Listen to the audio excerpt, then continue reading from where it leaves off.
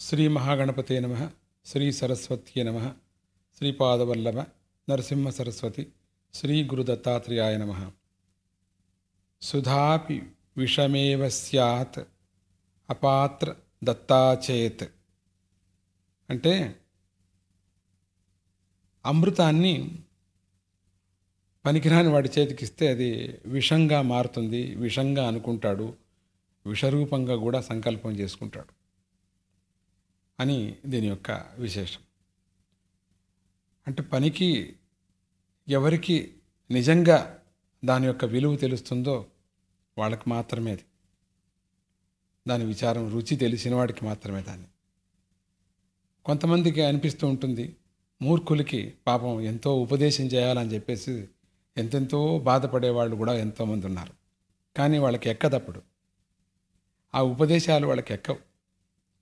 వాళ్ళకు కావలసింది సరి అయిన సమయంలో వాళ్ళ కష్టాన్ని నివారణ చేసేటువంటి ఉపదేశమే వాళ్ళకి కావాలి కానీ ఆత్మోపదేశం పనికిరాదు అప్పటికి.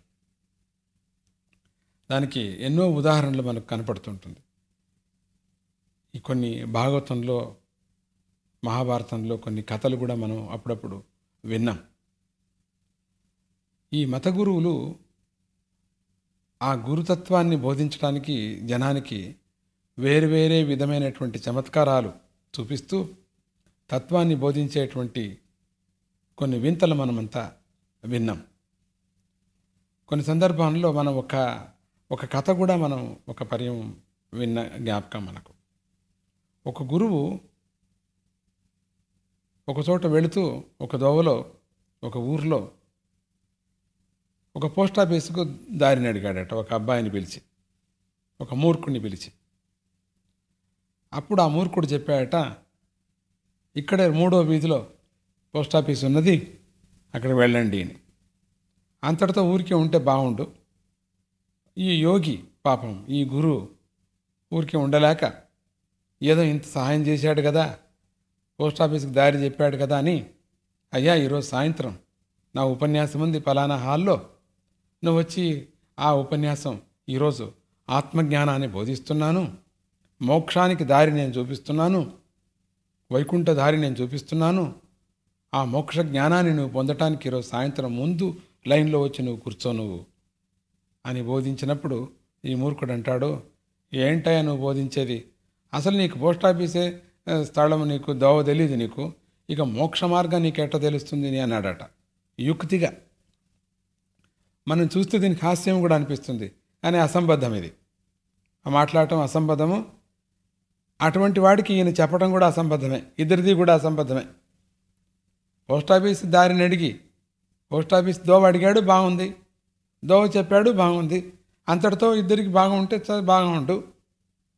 పోస్ట్ ఆఫీస్ దారి చెప్పాడు కాబట్టి ఆయనకి వాడికి ఏదైనా ఇంకేమైనా వస్తువు ఇవ్వకు ఇవ్వ ఇవ్వటం కానీ లేక నువ్వు దారి చెప్పావయ్యా థ్యాంక్స్ అని చెప్పటం కానీ బాగుండు. అదే తెలిసి నీకు ఆత్మజ్ఞానం బోధిస్తాను. నువ్వు చెప్పావు కాబట్టి అనంట అనేటప్పుడు లేదులేండి నేను రాలేనులేండి మీరే బోధించుకోండి పర్వాలేదని చెప్పినా వీడు బాగుండు ఈడు బుద్ధిని ఈడు చూపించారు. పాపం ఈయన కరుణ ఈయన చూపించారట. ఇట్లా ఉంది చూడండి. అంటే ఇది మన అమృత మథనంలో ఒక ఒక కథ మన జ్ఞాపకం వస్తుంది.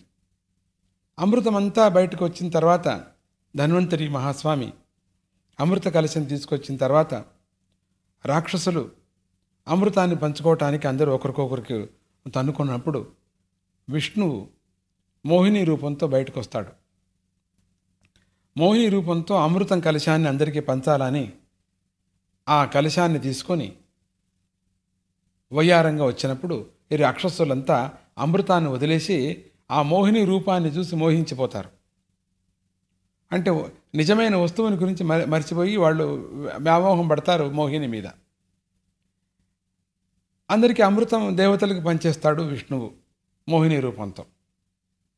అంటే అమృతం సంగతి వీళ్ళకి తెలియకపోయింది చూడండి ఇప్పుడు ఇక్కడ.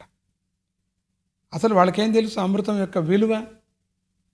వాళ్ళకి తెలిసినటువంటిది మాయతో చేరినటువంటిది విషం వీళ్ళకి తెలిసింది.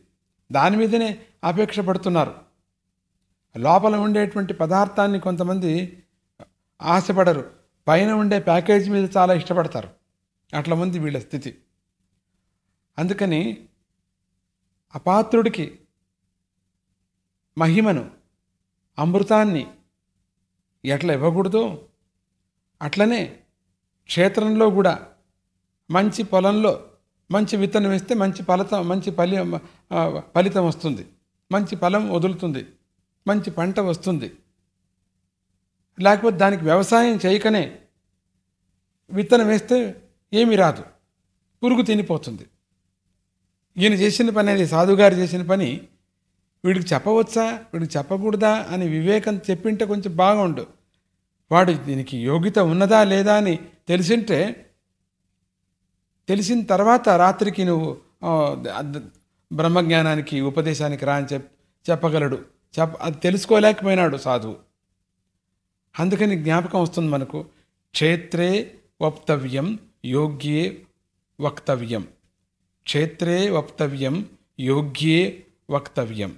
అంటే మంచి ఫలం ఉన్నప్పుడు మంచి విత్తనం వేసినప్పుడు మంచి ఫలితము మంచి ఫలం మనకు దొరుకుతుంది.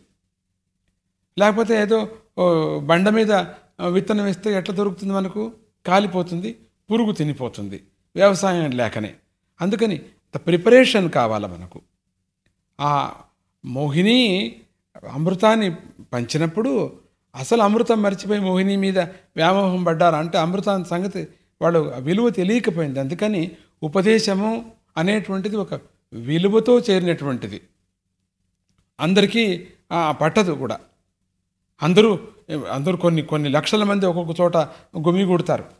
ఉపదేశం వింటామని. అందరికీ అంత బ్రహ్మజ్ఞానం రాదే. ఇవి కొద్ది మందికి మాత్రమే వస్తుంది.